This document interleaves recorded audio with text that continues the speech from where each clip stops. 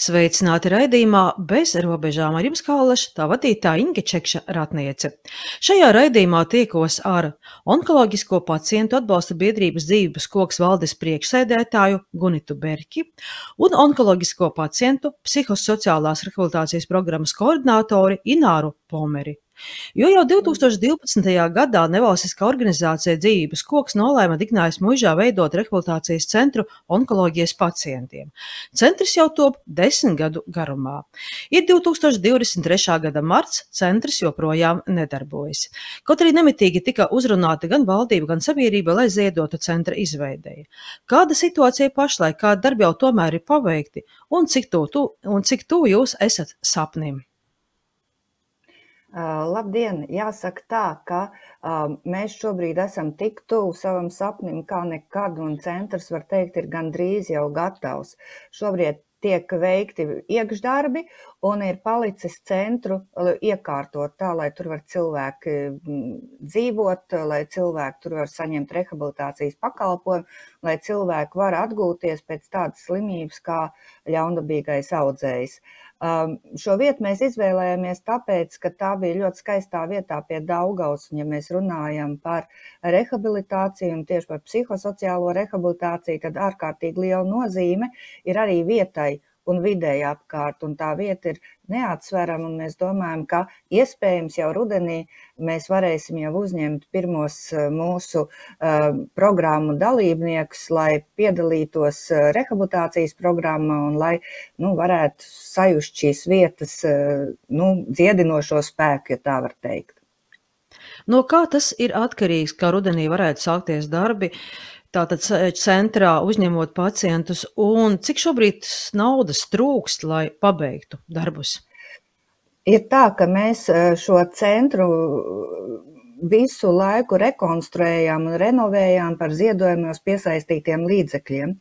Un gadu no gada mēs centrā ieguldījām apmēram 40 līdz 50 tūkstošiem eiro. Uh, Iespējams, ka mēs šo centru būtu pabeiguši ātrāk, ja nebūtu dažādas, ja mēs atceramies, tad bija tika mainīta likumdošana par nodokļu atvieglojumiem, ziedojumiem un tam līdzīgi, kas mums tā diezgan stipri nu, traucēja visu izdarīt tā, kā mēs bijām plānojuši. Mums ļoti paveicās, ka mūs atbalstīja arī saima, un 21. gadā, tas ir 2021. gadā, no saima mums piešķīra arī 200 tūkstoši eiro, par kuriem mēs bijām domājuši, ka mēs šo centru pabeigsim.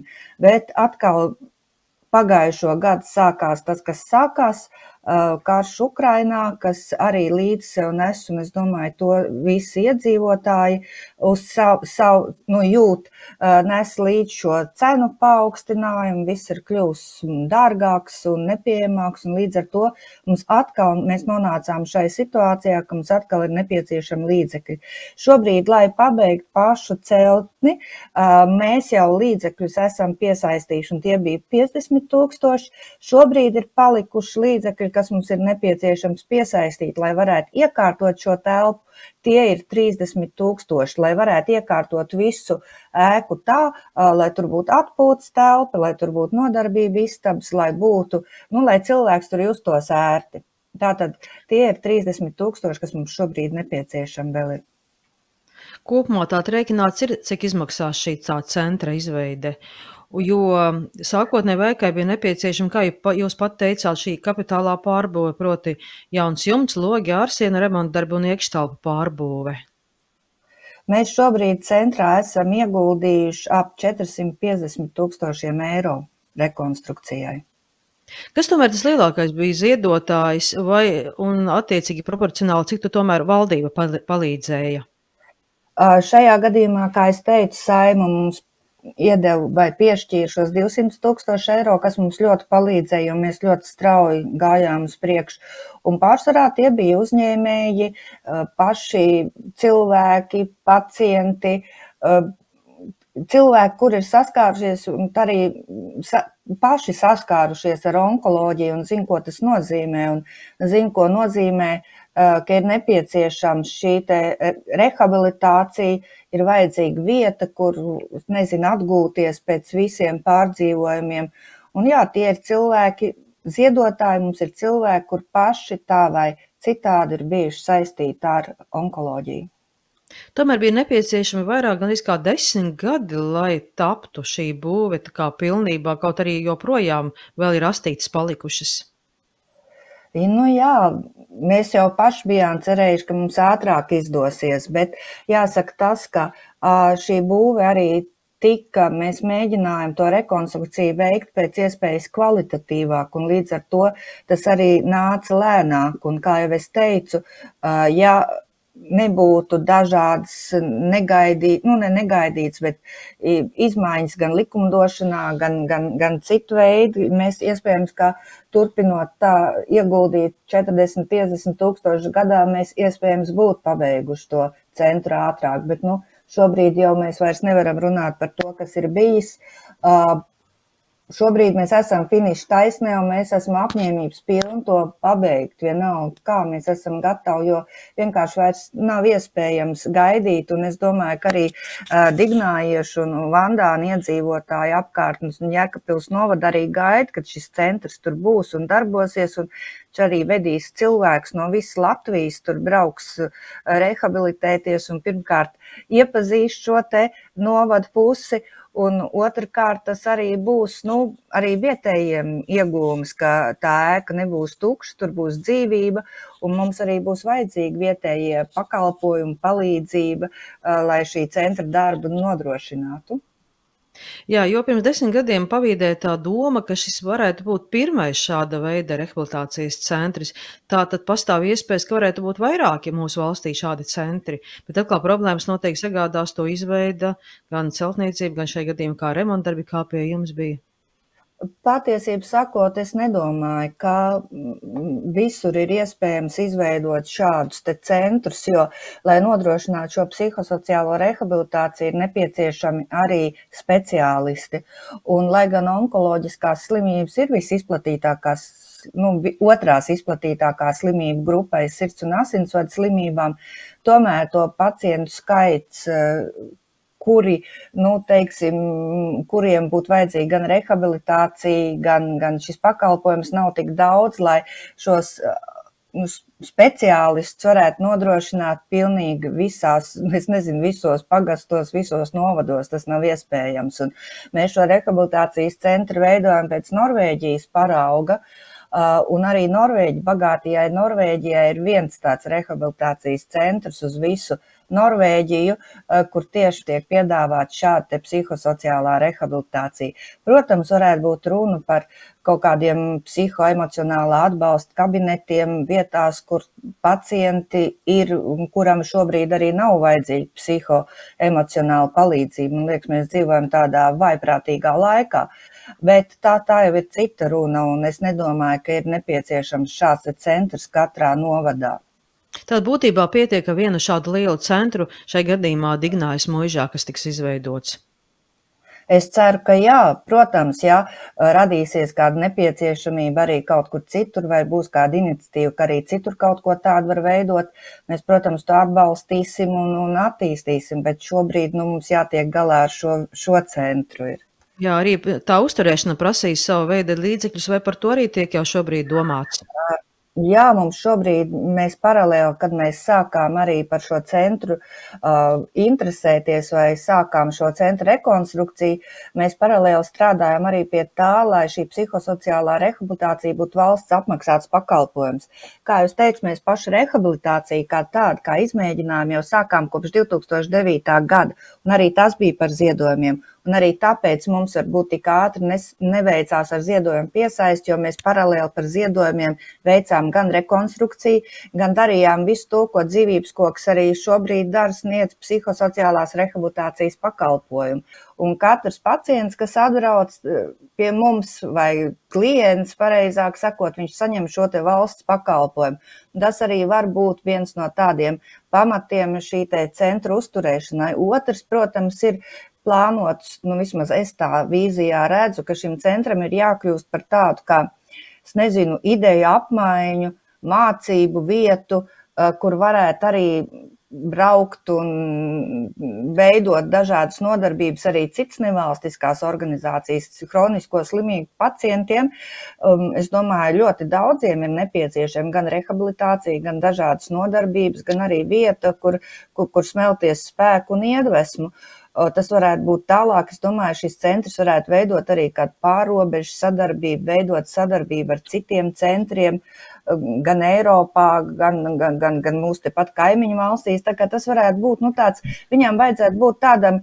Nu, kā uz attīstību vērstam organismam, ja tā var teikt, kas skatās, kā mainās tendences, tiek piedāvāt tādi pakalpojumi, tiek sagatavot speciālisti, šo speciālistu idejas tiek nestas tālāk citiem speciālistiem, varbūt, lai arī reģionos kaut ko attīst, vairāk runājot par psihosociālo rehabilitāciju, nu, apmēram tā.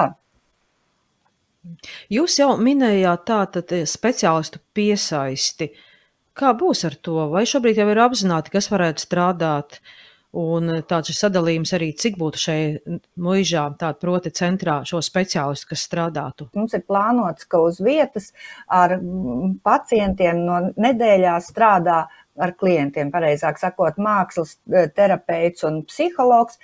Pārējie visi brauc klāt, un arī šis mākslas te, terapeits un psihologs viņi mainās. Mums nebūs šie cilvēki, kas strādās pastā, pastāvīgi. Tur būs eh, centra vadītājs, eh, vai koordinators, vai saimnieks, vai, vai arī iespējams arī cilvēks, kurš gatavos ēst un nodrošinās šo te labsajūtu cilvēkiem. Tādi cilvēki, bet šie speciālisti tieši tāpēc arī teica, ka tos speciālistus mēs esam apzinājuši, un mēs viņus tā, tā kā rotējošā kārtībā viņi paši uh, piesakās, un tad viņi piedalās šo programmu īstenošanā. Tā kā tas nenozīmē, ka visi 30 speciālisti, ar kuriem mēs esam līguma attiecībās, ka viņi tur būs uz vietas visu laiku. Viņi atbrauc uz savu programmu, viņi izdara savu, kas viņiem programmā paredzēts, viņi sniedz konsultācijas un viņi dodas atpakaļ uz savām dzīves un darba vietām. Tātad turpinām raidījumu bez robežām, un šajā raidījumā es tiekos ar biedrības dzīvības koks valdes priekšsēdētāju Gunitu Berki un onkoloģisko pacientu e, psihosociālās rekrutācijas programmas koordinātoru Ināru Pomeri. Tātad Ināra pievienojas mums sarunai, un uzreiz man Inārai būs jautājums. Ināra, ko tad nozīmē psihosociālās rekrutācijas programma? Ko tā sevi ietver? Psihosociālās rehabilitācijas programma nozīmē to, ka cilvēks, kā Gunita teica, no visas Latvijas, klients mūsu, brauc uz šo programmu un tā ilgst nedēļu. No svētdienas eh, pēcpusdienas līdz sestdienas rītam cilvēki dzīvos eh, Dignājā, un šobrīd eh, šī programma mums notiek turpat kaimiņos Mārtiņa fonda dūjās, un tātad rudens pusē mēs ceram, ka varēsim jau programmas vadīt Dignājā.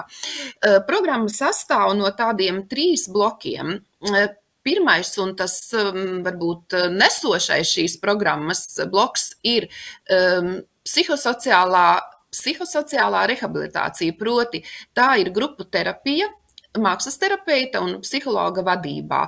Tas aizņem, nu, teiksim tā, divas trešdaļas no visas programmas. Katru dienu ir, ir divas nodarbības uh, cilvēkiem, un plus vēl viņi var saņemt arī individuālo psihologa konsultāciju. Tad ir informatīvais bloks, eh, kurš sastāv no lekcijām par onkoloģiju, par uzturu, par um, arī citiem uh, alternatīviem, jeb um, šiem te atbalstošo terapiju, kā fitoterapija un citas lekcijas pēc, um, nu, pēc grupas sastāva. Un tad ir fizisko aktivitāšu sadaļa. Uh, strādā, starp citu, mums šobrīd strādā fizioterapeite, kas ir uh, Jēkabpils um, speciālisti no Jēkabpils, nebrauc no Rīgas visi. Un uh, ir arī nūjošana, um, spēka treniņi, kas onkoloģiskiem pacientiem ir ļoti svarīgi. Tātad um, grupu terapija, lekcijas un fiziskās aktivitātes. Tādi trīs bloki, bet es teiktu, pats, nu, neteiksim pats svarīgākais, bet ļoti, ļoti nozīmīgs ir tas, ka šeit pulcējas cilvēki, uh, vai nu ar vienu, vai ar dažādām uh, vēža diagnozēm, uh, nu, vēža veidu diagnozēm. Un tā ir savstarpējā saziņa, savstarpējā saskarsme. Cilvēki apmainās ar informāciju, kā es tiku ar šo problēmu galā, pie kādiem ārstiem gāju, ko darīju, ko nedarīju. Un tas ir ļoti, ļoti nozīmīgs, tāpēc psihosociālā cilvēks socializējas, jo bieži vien uzzinot vēzis, cilvēks ieiet kā gliemazīte savā čaulā un, un, un neko negrib apkārt dzirdēt. Un bieži arī cilvēki saka, es negribu tādu programmu, jo tur būs bēdīgi stāsti un es šito te negribu vairāk, bet gluži pretēji šajā programmā cilvēki atraisās, viņi iedrošina viens otru, ka tu neesi viens ar to problēmu. Un ir cilvēks, kurš jau ir piecus vai desmit gadus pēc saslimšanas, un viņš turpina meklēt un atrast sevi, un jau daudz ko ir atradis un sasniedzis. Un eh, ir tā, ka eh, uzsākot programmu, jā, tas noskaņojums varbūt ir tāds nedrošs, kas te būs, kā te nebūs, vai man patiks vai nepatiks, vai nebūs par grūtu. Tad piekdienās kad, eh, nodarb, kad principā jau programma iet uz beigām un ir apvienojošā, jeb kopsavilkuma grupu, grupas terapijas pēdējā nodarbība, tad piekdienas vakari ir tādi, nu, kā saka, ļoti pacilājoši, jo jau trešdien, ceturtdien cilvēks jau ir atraisījies, jau daudzas problēmas, kas ir bijušas galvā, jau ir atrisinātas, un tā, tie akmeņi, tie slogi, kas ir nomākuši, nomākuši cilvēku, jau ir kā teikt, ieslidināti vai nu Bansāna ezerā, vai mums būs Daugava, ka noslīcināt visas bēdas. Un e, tas finišs ir ļoti pacilājošs. Cilvēki ir atguvuši dzīves prieku, enerģiju un, un, un, un cerību tam, kad ir jāturpina rūpē, rūpēties par veselību, lai atveseļotos un um, pilnvērtīgi atgrieztos gan darbā atpakaļ, gan arī uh, mājas dzīvē un, un, un atgūtu, kā saka, savus spēka resursus. Gunita, jūs jau minējāt, ka tāda šī Dignājas mūža pārtop par rehabilitācijas centru par pamatu ņemot Norvēģu pieredzi. Bet kopumā runājot šīs psihosociālās rehabilitācijas programmas un citas, kas palīdzētu cilvēkiem tātad atgūties dzīvei, kuras valstis ir tās, no kurām var ņemt šo tātad piemēru? Nu, pārsvarā, ja, piemēram, pirms desmit gadiem neviens nerunāja par vēzi kā par psihosociālu problēmu vai slim, nu, tādu, kur ir nepieciešama šī psihosociālā rehabilitācija, tad šobrīd, manuprāt, jau visās valstīs vairāk vai mazāk ir dažādas uh, psihoemocionālas, psihosociālas šīs te programmas, kas palīdz tieši pēc onkoloģijas atgūties, jo kādreiz bija populārs uzskats, ka vēzis ir teiksim, fiziska slimība, kur, es nezinu, izoperējot to perēkli, um, cilvēks var dzīvot laimīgs tālāk, bet vēzim līdz nāk šīs bailes, stress, bailes no atgriešanās slimības, bailes par vēlreiz kaut kam tādam iet cauri, un ir nepieciešams šis te uh, pati Es esmu bijusi divās valstīs, Norvēģijā un Dānijā, kur ir šāds psihoemocionāls atbalsts. No abām valstīm mums ir daudz ko mācīties. Dānijā tieši tāpat arī psihosociālo rehabilitāciju ievieš nevalstiska organizācija sadarbībā ar valsts organizāciju, kur ir valsts finansējums un tiek meklēt arī cik finansējuma avot. Un tieši tāpat ir arī Norvēģijā.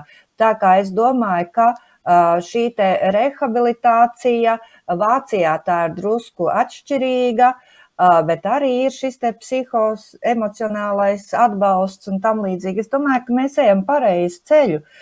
Varbūt ir vienkārši vairāk viņš, nu tā, jāfragmentizē, jāsniedz tuvāk un dažādos veidos. Viens ir atbalsts uzreiz, kad uzzina diagnozi, otrs ir atbalsts ejot cauri visam ārstēšanas procesam, trešais ir atbalsts, ko sniedzam mēs pēc aktīvā ārstēšanas procesa. Iespējams, ka viņš dažādi ir jāvarie, bet tas viss ir, viss mainās un visu var izdarīt. Bet ko es vēl gribēju teikt, ka principā dzīvības koks mēs esam mm, sabiedriskā organizācija. No kā sabiedriskā organizācija var pastāvēt? Var pastāvēt no ziedojumiem, kurus iegulda biedrības mērķi un dažādu uz sabiedrību specifiski orientētu mērķu sasniegšanā biedru naudas un projekti, projektu rakstīšanu. Un mēs kā dzīvības koks diezgan aktīvi arī rakstām projektus un arī tos mēs domājam izmantot kā pamatu arī šī te centra attīstībai, jo sniedzot tikai vienu pakalpojumu, viņi neattīstot, nevar attīstīt vispār nu, to ideju kopumā kā tādu. Un vēl es gribēju teikt, ka biedrībai ir arī ļoti daudz, ka caur šīm programmām cilvēki iziet un paliek pie mums. Mums, piemēram, ir izveidot brīvprātīgo mentoru kustība, kuri ir cilvēki, kuri ir gatavi palīdzēt citiem cilvēkiem ar, ar sarunām, ar atbalstu, kas ir tikko uzzinājuši diagnozi vai iet cauri diagnozes ārstēšanai, nu, iet cauri ārstēšanai. Vai arī ir kaut kādas problēmas priekšā saistībā ar onkoloģiju. Mums tur ir apvienojušies cilvēki ar visdažādākām diagnozēm, viņi ir izgājuši apmācību kursus, kā runāt, kā, kā atbalstīt, kā nesagraut pašiem savu uh, nu, teiksim, labsajūtu vai neiekrist depresijā. Tāds sapnis e, tiks drīz īstenots, jūs tuvēties finiša taisnē, bet tomēr ziedot joprojām var, lai, Jā. un nepieciešams, lai taptu līdz galam Not, šis objekts. Noteikti. Mums ir vajadzīgs šobrīd, lai iekārtot šo objektu, un arī mēs turpināsim attīstīt. Mums šobrīd, piemēram, ir izstrādāts plāns par fizisko aktivitāšu uh, tādu trenažieru klasi, ja tā var teikt, parkā, par mūzikas terapijas āra klasi. Tā kā e, mēs visu laiku to centru attīstīsim, bet šobrīd, lai viņu mums, mēs ļoti aicinām ziedot un atbalstīt, lai mēs šo centru varam iekārtot, lai patiešām tur cilvēki var dzīvot. Jā, un šim centram tāda ir dots jau arī nosaukums spēka avots. Ināra, varbūt jūsu komentārs? Spēka avots, um, nu, programmai spēka avots, jā, centra arī jā. var saukt par spēka avotu. Uh, redziet, um, uh, onkoloģisko pacientu mazliet var salīdzināt ar sportistu. Tie abi ir cīnītāji, bet abiem ir vajadzīgs spēks. Sportistam spēku dod un mērķi trenēties, mērķis uzvarēt sacensībās, sasniegt labāko rezultātu. Un onkoloģiskajam pacientam kaut kur ļoti līdzīgi lai izķeprotos no tās slimības, nu, izķeprotos, tiktu laukā, uzvarētu un, un, un sāktu dzīvot atkal priekpilnu un normālu dzīvi, ir vajadzīgs tajā krīzes situācijā tas spēka avots. Un ko spēka avots dod? Viņš dod veldzi. Viņš dod veldzi caur šīm te terapijām, grupu terapijām, kur tu vari atbrīvoties no savām emocijām. Latviešiem ir viena tāda, ko es bieži pieminu, diezgan kaitīga, manuprāt, tautas dziesma, liku bēdu zemakmeņu pāri gāju dziedādam. Nu, lūk, un onkoloģija nav tā reize, kad vajag bēdu palikt zem akmeņa un pāri iet dziedādams, jā, mēs ārēji ejam pāri, bet patiesībā mēs iekrītam dziļā depresijā, mēs um, dzīvojam pastāvīgā trauksmē, un tas mums var izraisīt vēl citas saslimšanas. Un tāpēc tas spēka avots ir tas, kurš kurš aizskalo tos akmeņus, palīdz atbrīvot emocijas, nogremdēt nevis zem akmeņa, bet lai ūdeņā aiznes caur asarām kaut vai, ja vajag. Un, eh, un dabūt uh, atkal augšā tos savus spēka resursus. Un tie spēka resursi ir viss tas, kas dzīvē sagādā prieku.